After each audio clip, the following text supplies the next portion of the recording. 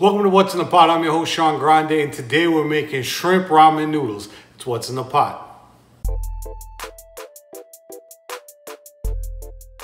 Thank you very much for tuning in to What's in the Pot. So to start, I have about 20 pieces of raw shrimp. You can use any kind of shrimp you like with the shell on or with the tail on. It's really up to you. We're gonna start seasoning the shrimp with some of the Badia Complete seasoning and some of this Tony's Creole seasoning. Give it a light mix and let it marinate probably for about an hour in the fridge. And then we're gonna go ahead and start frying the shrimp.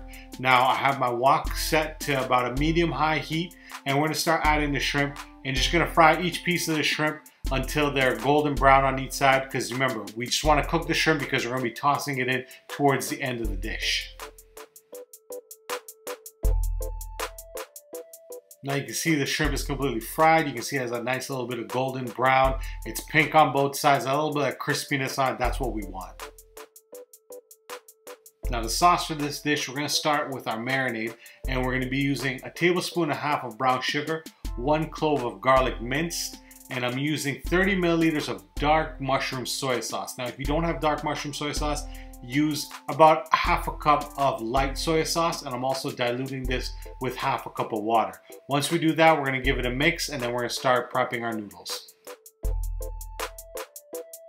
Now I'm using the same wok. I didn't really wash it out, clean it out because it has a lot of that flavor from the seasoning from the shrimp. I'm gonna start sauteing our onions until they start sweating a little bit. Give it about five minutes and then I'm gonna go ahead and add my sweet peppers. You can use red or green peppers. I'm using the yellow peppers. It's really up to you. And you wanna let this cook for a couple more minutes. Don't let it overcook because we don't want it too soggy. We still want a nice texture to it. Now these are the noodles I'm using.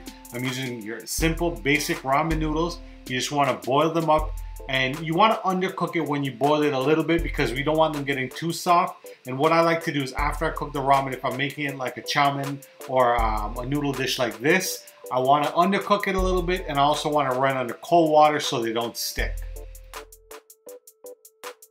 My noodles have been fried for about five minutes, so I'm just adding a little bit of salt and pepper for taste. You can use any kind of black pepper or white pepper.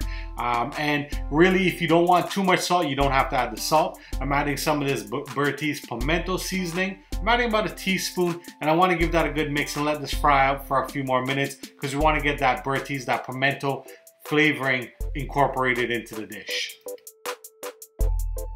Now I'm gonna go ahead and add half of my mixture that I made and we're gonna add that in and we're gonna let that cook. What we're gonna do is, now you can see a little bit of extra sauce at the bottom. Because we added the brown sugar, it's gonna caramelize, it's gonna give a nice flavor, especially with the garlic and the soy sauce. So we're gonna let this cook maybe for about five or six minutes on high heat because we wanna dry up that sauce, but we also want it to caramelize and bring a nice flavor to the dish.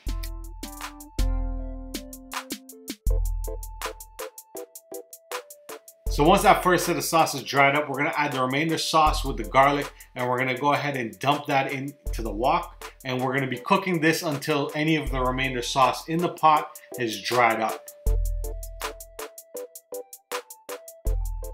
Now you can see after the remainder sauce that we added with the shrimp has dried up, we're gonna add some green onions to give it a little bit extra flavor, give it a few tosses for a couple minutes, and then our dish is done.